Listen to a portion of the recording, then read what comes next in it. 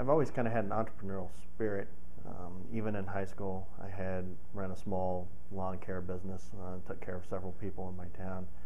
Um, as in, in elementary school, I would used to resell bubble gum to the kids. So I always had an entrepreneurial spirit, but that doesn't give you a good business acumen. Um, we, my partner and I, uh, went to several conferences uh, to look at just specifically on how to open these. Uh, we hired uh, really intelligent people that opened up several of these as consultants. So we had a lot of track record and history and knew what we were getting into financially before we started this. I think it's really important to hire the professionals that know what they're doing to kind of help guide you through that and hold your hand as you go through the business startup phase.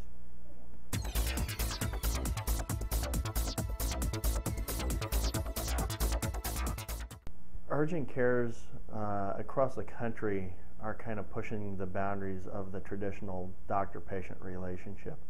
Um, we're making medicine more efficient, uh, and as any businessman tell, will tell you, that usually means a better business model. Uh, and so we are always trying to adapt and stay ahead and be ahead of the curve on these things that are better for the patient and for the business.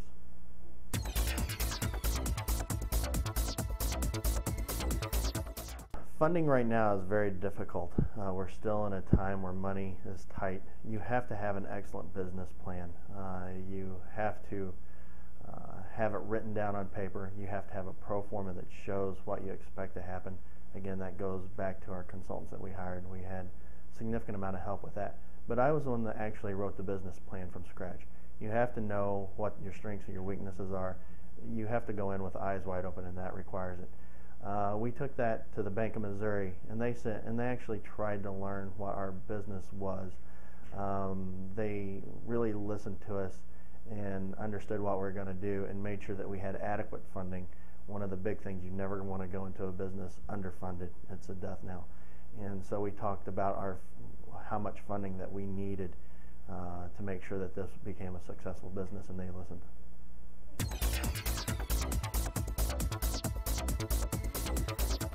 Well, first off, it is where my partner and I, Jason Zaire, live.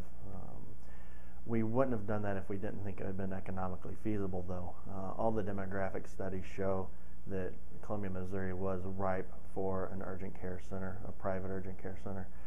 Um, the the unemployment rate, the demographics, the amount of people that have private health insurance, and on top of that, we have about a 20 to 30 percent of our population is transient in nature and doesn't necessarily have a primary care physician to go to. So we felt that all those were very important to us, and, and it turned out it was right.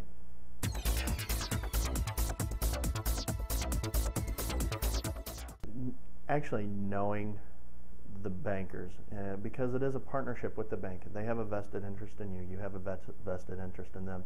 Making sure you mesh with your bank, uh, making sure you can go in and discuss potential issues and problems with them is really important. Being able to just walk in and they know you by your name and you can discuss any problems that you may or may not be having. Uh, Bank of Missouri is a small business itself. They've been through the startup phase they can help you out. They understand the issues that small businesses face and can help walk you through some of the some of the issues with that.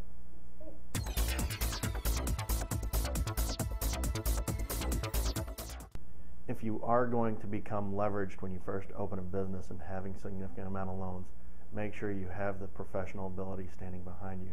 Going out and paying for the knowledge that other people has is incredibly important. Trying to do this on your own is possible, but you're going to end up wasting a lot more money than if you had went out and hired a professional to help you guide you through the startup phase.